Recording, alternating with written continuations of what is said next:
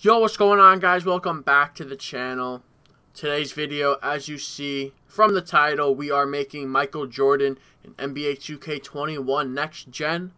Some people, they don't like the game, but for those of you who are still on the game, still grinding the game, and want to make a Michael Jordan build, this video is especially for you. So, let's get right into it. Obviously, name your player Michael Jordan. I don't have the face creation just yet, but we will soon because I kind of want to make a shooting guard type of player, I'm not going to lie. So, we're going to get right into it. So, make him a shooting guard, right hand. Obviously, you got to put that number 23 on his jersey. So, let's go. He was 6'6".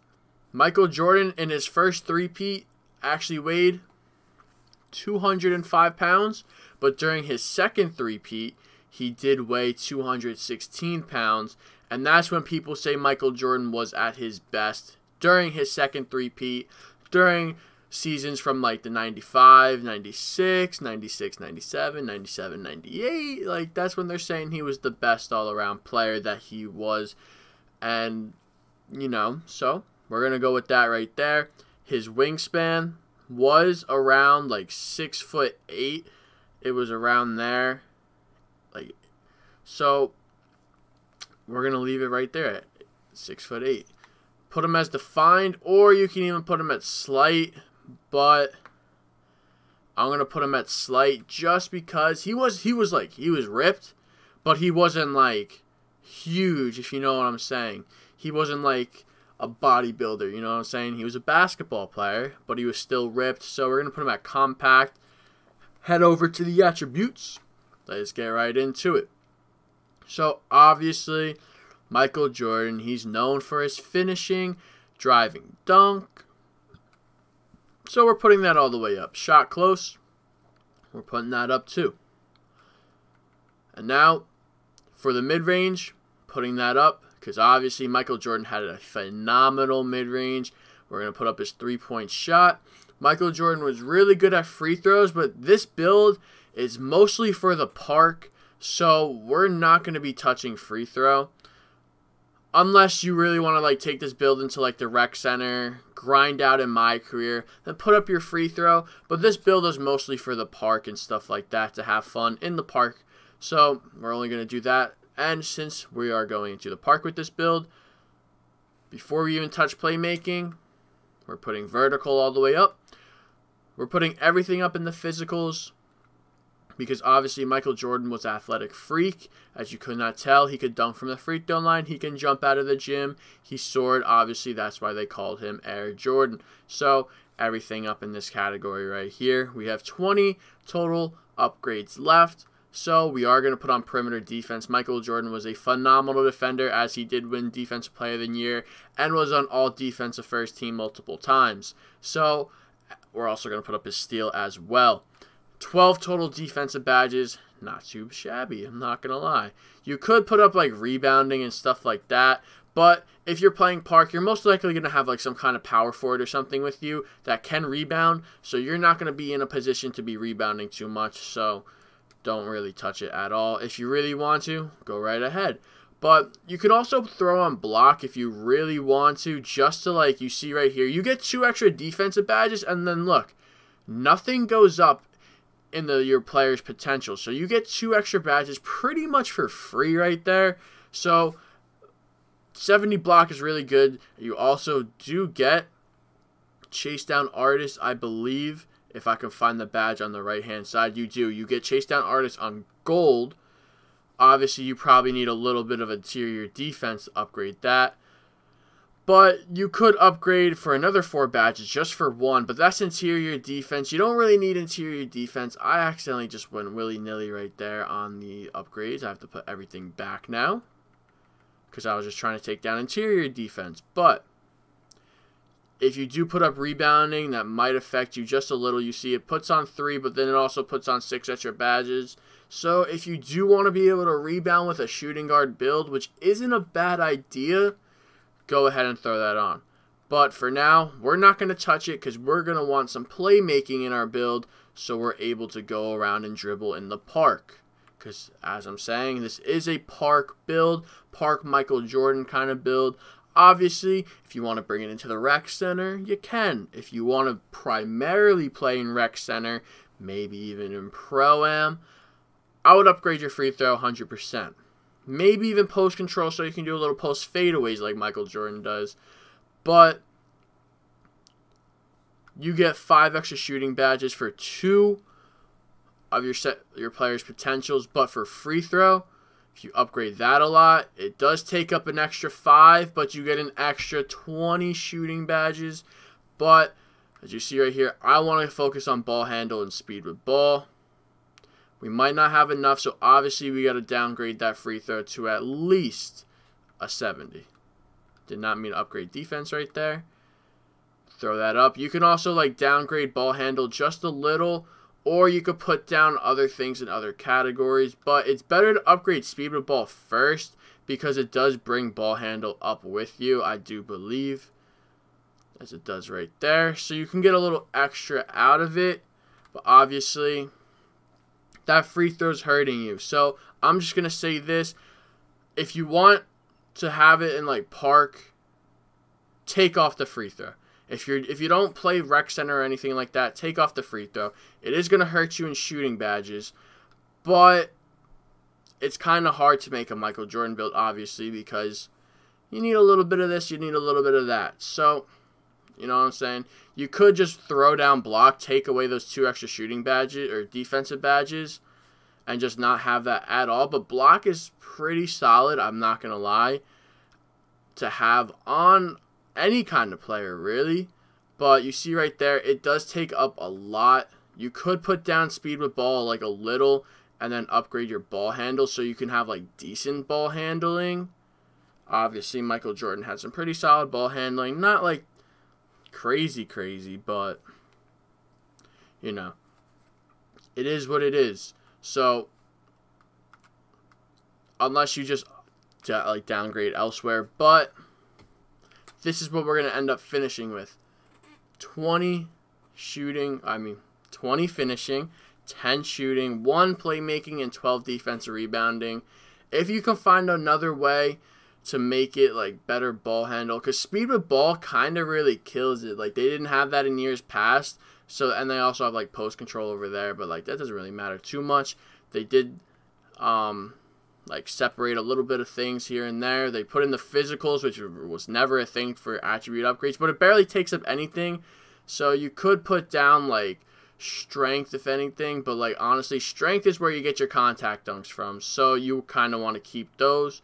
And yeah, those are the badges. Let's head right into the next after we put on something somewhere else.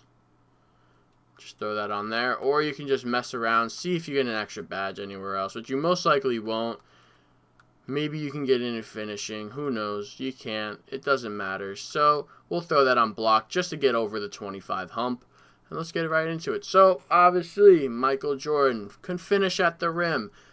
I would say that most likely is his primary get through get to the basket, you know what I'm saying? So you can either do easy blow-bys, which is actually pretty solid, I'm not going to lie, or you can go with finishing moves, which I like. That's one of my favorite badges. Or you can just completely ignore the finishing and go with like shot creating, maybe even one of the sharp shootings, maybe even both the sharp shootings, or the lockdowns. This is this part of the build is completely up to you which is the great part. You have so many takeovers to choose from, but personally, what I'm going to go with is the slashing, finishing moves. And then I would either go with some kind of sharpshooting or you can either go with lockdown because extreme clamps is a really solid badge when it's activated also perimeter badge drop it does drop badges down a tier like when you like you just like get near them on the perimeter. So let's just say they just have like that that bronze badge on just so they can get by in the park, shoot that corner three, shoot that corner whatever shot. But now that you're near them and it's activated, they can't do that because the badge isn't there anymore. So you can do that, you can go this, but for me, I'm going with spot up precision. Even though it does say spot up precision, it's it's like both combined, really. Like I've seen a bunch of YouTubers test them out. Spot up precision is the way to go. We're to go ahead to the two-way, three-level score. To go ahead and test the build. Throw on some badges. See what we're working with. Obviously, Acrobat. We got to go with Slithery Finisher. Posterizer 100%. You can go with Fearless Finisher, but I don't know. It's a really solid badge, but personally, I haven't tried it out yet. If you tried it out and it works for you, I would put it on definitely. I just haven't done too much, I would guess you could say, research on Fearless Finisher to like to where I would put it on or to know too much whether I should put it on or not. But I'm going with Heat Seeker.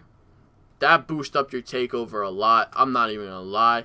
And then like obviously the way 2K is going this year, I'm throwing on Pro Hall of Fame, like Pro um, Pro Hall of Fame, Hall of Fame Pro Touch.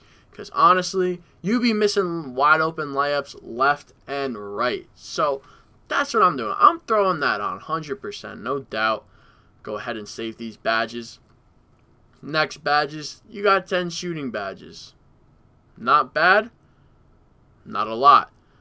If you want more shooting badges, don't even upgrade playmaking, but obviously, how can you like really be a Michael Jordan build if you can't create your own shots, you know what I'm saying? So obviously you're going to have that little bit of playmaking to sacrifice for the shooting, but if you're just going to be a complete off-ball build, which isn't Michael Jordan at all, go ahead, upgrade that free throw and do what you got to do to get those extra shooting badges. But we're making Michael Jordan. This is most likely for the park build anyways, Michael Jordan build. So we're going to go ahead and do what we do. So obviously you could still throw on Hall of Fame badges. Like you could throw on like that one Hall of Fame, like you could throw on like Hall of Fame difficult shots. And then you can go like Silver Green Machine, Silver Hot Zone Hunter, and then like Silver Deadeye or something like that. Or you can even throw silver on somewhere else. Or it doesn't really matter where you put it on. Sniper, that's well aimed shots. That's only if you shoot with the stick. Just keep that in mind if you end up do putting that on anyways. Or if you really wanted to, you could throw it on catch and shoot because you will be the shooting guard position. You're most likely, if you're running with this build, have some kind of ball handling point guard. But you can like create your own shots with this build. But you only get one playmaking badge. So I would either put it on like quick first step, space creator. In my opinion, I'm putting that on quick first step just because that helps with dunks and everything as well. So I would definitely throw that on. Ankle braces. I've been hearing this badge does not work at all. So don't even put it on. Don't waste your time with it. Hall of Fame clamps should be the number one thing you put on. Interceptor, really good badge. I love this badge. Pickpocket, that's really it. That's really all you need for the park. Maybe Tireless Defender, but I feel like Tireless Defender is really only for like Rec Center, Pro-Am, and stuff like that. This is for the park. Only put your badges on clamps, pickpocket, and interceptor. If you don't really want interceptor, just throw that on bronze so you get your animations for interceptor, and then you could throw it on anything else you want, maybe like pick dodger or something, or you could just do a two-way split like this. It's really up to you how you spend your badge points, but this is what I would personally do. And yeah, this is a Michael Jordan build, an NBA 2K21 next gen. Just keep in mind, this is for a Park Pacific build like a Park Michael Jordan build. If you want, like I've been saying the entire video, take it into Rec Center Pro Am, I would 100% upgrade your free throw, without a doubt. I would definitely change the build up a little bit, but this is what I've made. This is what me, we made together. And yeah, anyways, I hope you guys enjoyed. If you guys make this build, let me know down below in the comments. Let me know what kind of changes I can make to this build. If you have any suggestions, drop a like, subscribe to the channel if you're new, and I'll see you guys in the next one. Peace.